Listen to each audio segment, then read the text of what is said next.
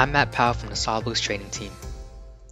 SOLIDWORKS xShape allows you to create organic complex shapes quickly with the help of the symmetry option. However, sometimes your model may not be centered relative to the plane you want, preventing you from using the symmetry option effectively. In this video, I'll show you how to center your model relative to the ZX plane and how to quickly use the symmetry option on that same plane.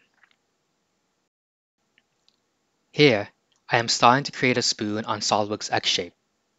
I'll insert a rectangle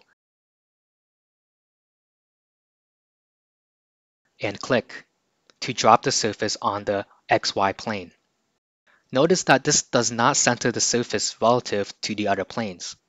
I'll adjust the number of segments, check Scale by Bounding Box, enable Scale Non-Uniform, and enter the X and Y values.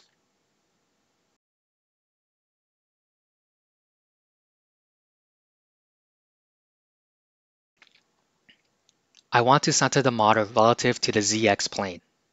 So I'll just click the ZX plane and a context toolbar appears, letting me select the Center On option.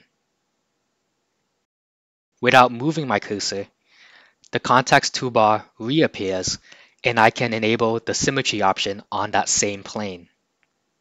I'll click the green checkmark to confirm the symmetry option and I can continue modeling my spoon.